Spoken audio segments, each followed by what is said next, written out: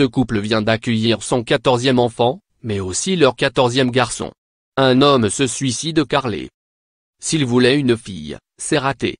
Jay et Catherine Schwand, un couple d'Américains vivant dans le Michigan aux États-Unis, déjà parents de 13 garçons, ont agrandi leur famille mercredi 18 avril avec un quatorzième fils, comme le rapporte The Grand Rapid Press, un média local.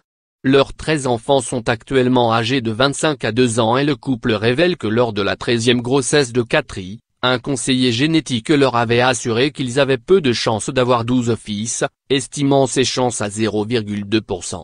Et qui prouve aussi que le spécialiste s'était à l'époque trompé puisqu'ils sont aujourd'hui les parents de 14 garçons. Comme lors des précédentes grossesses, les parents n'ont pas souhaité connaître le sexe de l'enfant avant sa naissance. Le soir de la naissance, leur préoccupation principale était de trouver un prénom au petit garçon, on espère qu'ils ont eu assez d'imagination pour trouver un quatorzième prénom pour leur bébé.